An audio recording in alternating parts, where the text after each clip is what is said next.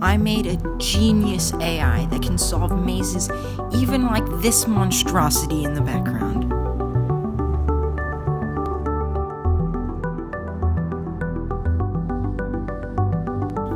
So let's start with this maze. Not that big.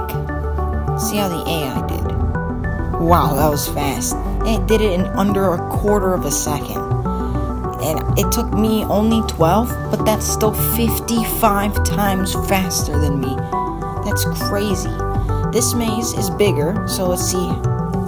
Wow, that was in only in just above a second. That's crazy. But what about monstrosities like this maze? Well, it took about 30 to minutes to an hour to solve that, but look at that size of that solution.